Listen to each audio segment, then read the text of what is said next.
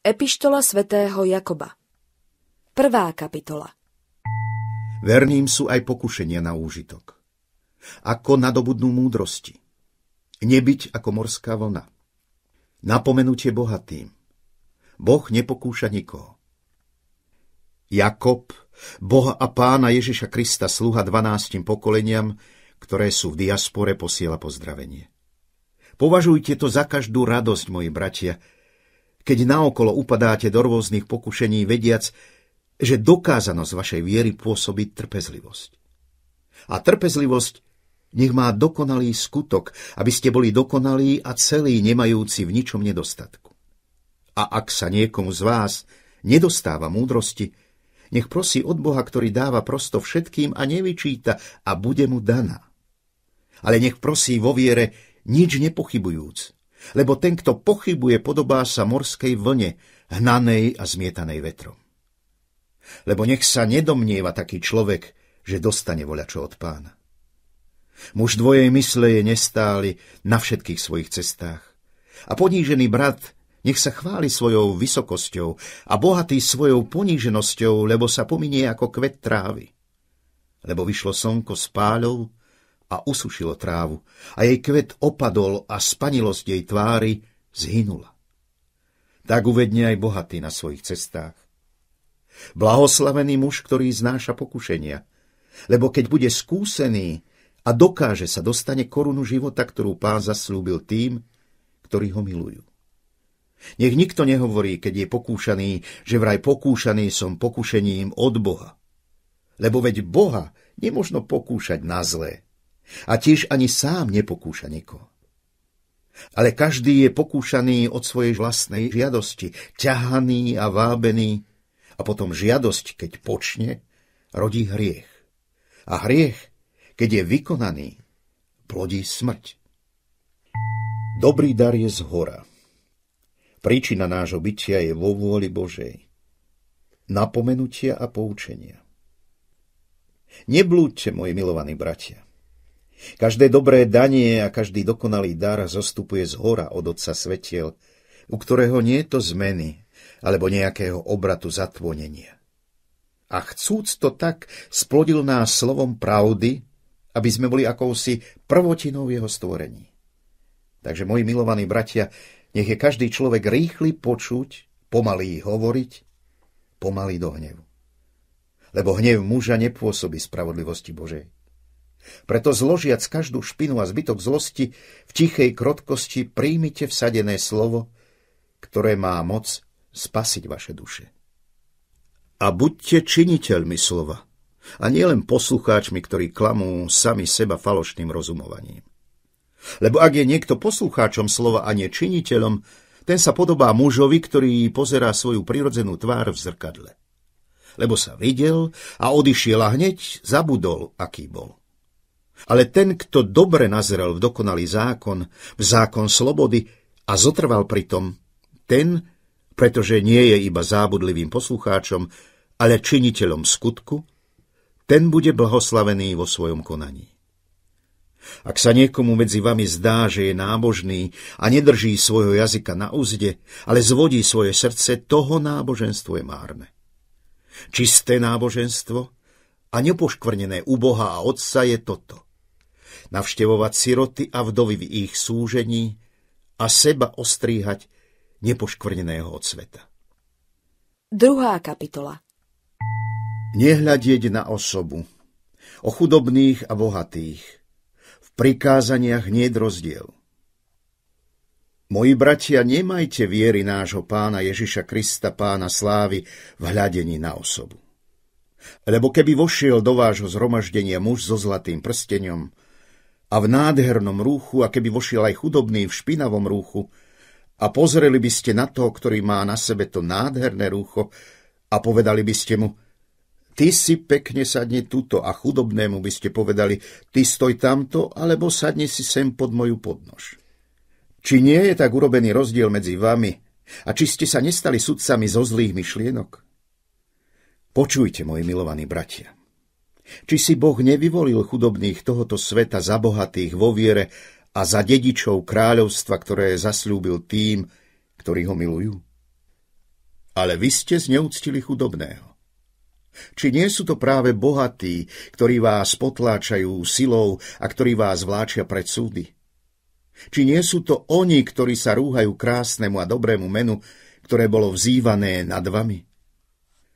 Pravda, ak plníte kráľovský zákon podľa písma, milovať budeš svojho blížneho ako samého seba, dobre robíte.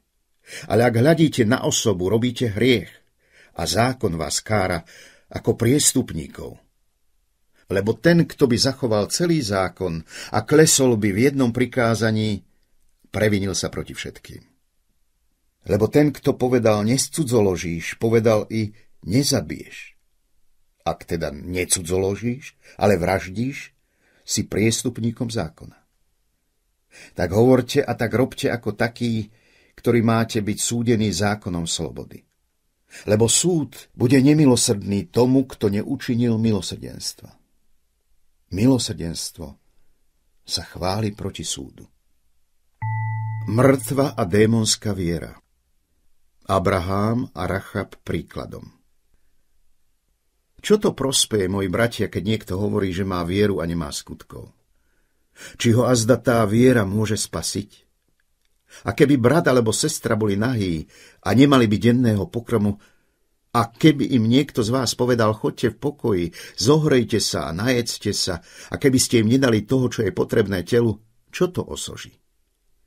Tak aj viera, keď nemá skutkov, je mŕtva sama v sebe. Ale niekto povie, ty máš vieru a ja mám skutky. Ukáž mi svoju vieru bez skutkov a ja ti ukážem svoju vieru zo svojich skutkov. Ty, že veríš, že je jeden Boh, dobre robíš. Aj démoni veria a trasú sa. Ale či chceš zvedieť, o prázdny človeče, že viera bez skutkov je mŕtva? Či nebol Abraham, náš otec, ospravedlnený zo skutkov, donesúc obeťou svojho syna Izáka na oltár? Teda vidíš, že viera spoluúčinkovala s jeho skutkami a že viera bola dokonaná zo skutkov. A naplnilo sa písmo, ktoré hovorí, Abraham uveril Bohu a počítalo sa mu to za spravodlivosť a bol nazvaný priateľom Božím. Tak teda vidíte, že sa človek ospravedlňuje zo skutkov a nie samo z viery. Tak podobne aj smilnica Rachab, či nebola ospravedlnená zo skutkov, keď prijala poslov a súrne ich vyslala inou cestou? Lebo ako je telo bez ducha mŕtve, tak je i viera bez skutkov mŕtva.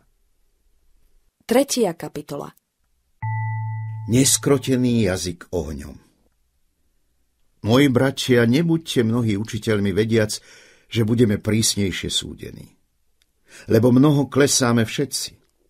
Ak niekto neklesá v slove, to je dokonalý muž, ktorý má moc pojať na úzdu i celé telo.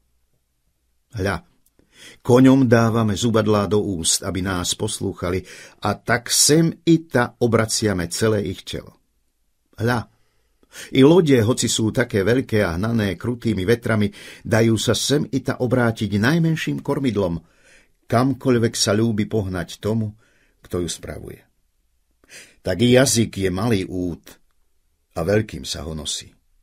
Hľa, maličký oheň akú veľkú horu zapáli. I jazyk je oheň, svet neprávosti. Takým stáva sa jazyk medzi našimi údmi, ktorý poškvrňuje celé telo a rozplameňuje kolo života od narodenia a je rozplameňovaný peklom.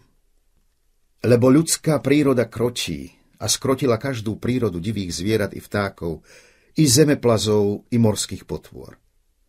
Ale jazyk nemôže nikto z ľudí skrotiť.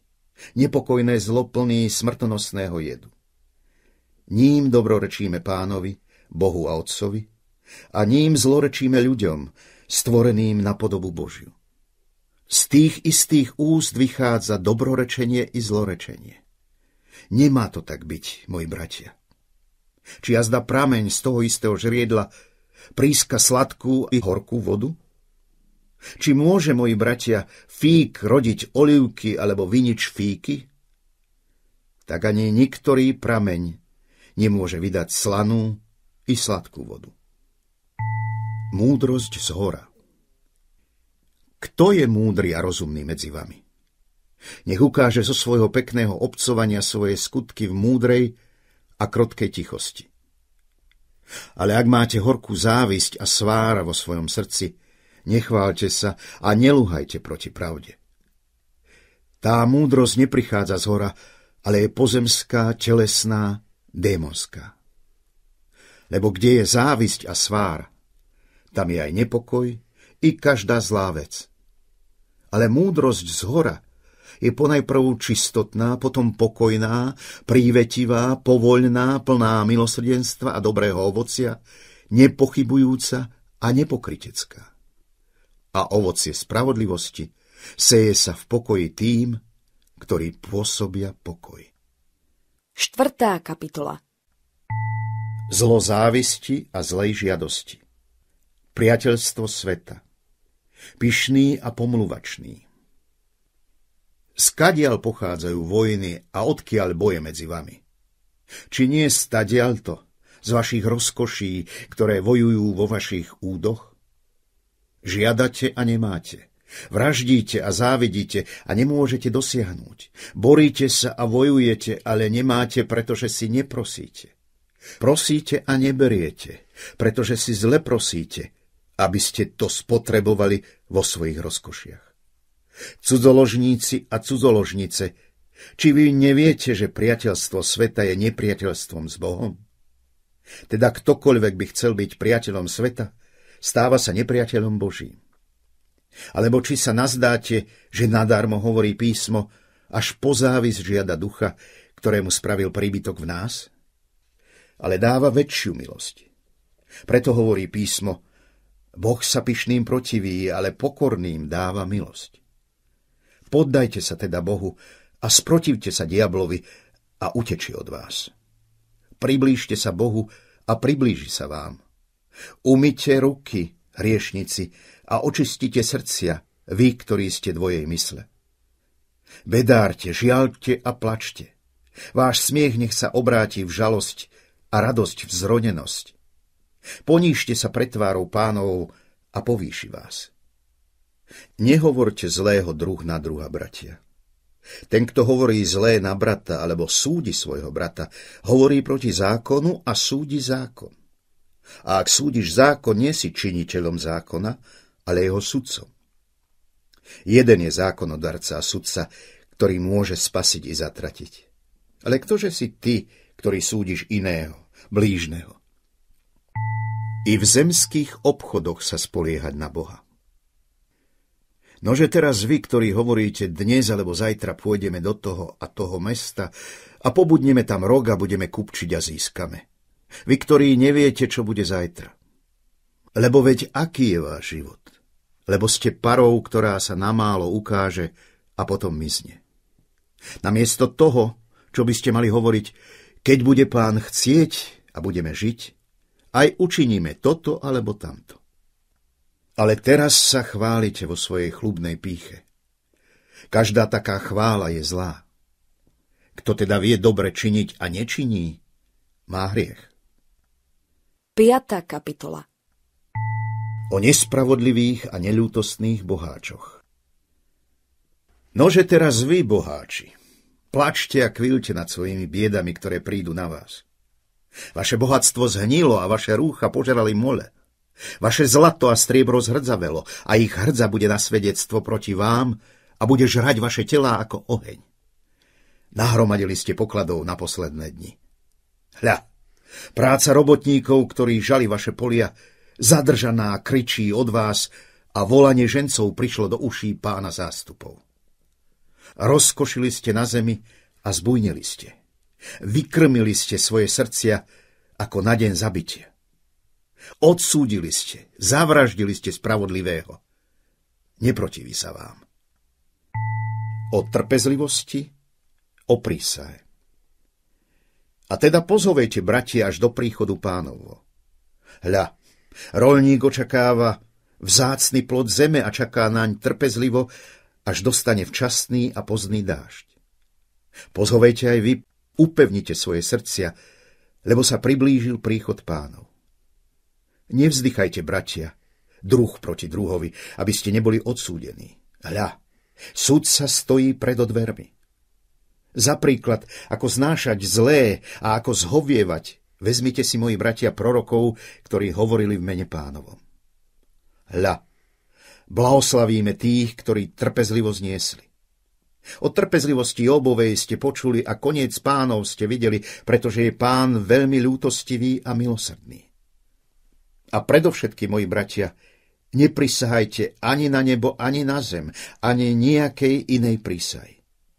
Ale nech je vaše áno, áno a vaše nie, nie, aby ste nepadli pod súd. Trpí niekto medzi vami? Nech sa modlí. Je niekto veselej mysle? Nech spieva žalmy. Mazanie olejom. Vyznávať si hriechy. Eliáš. Zblúdili. Je niekto nemocný medzi vami? Nech si zavolá starších zboru a nech sa modlia nad ním, pomažúc ho olejom mene pánovom. A modlitba viery uzdraví chorého a pán ho pozdvihne a ak urobil hriechy, odpustí sa mu.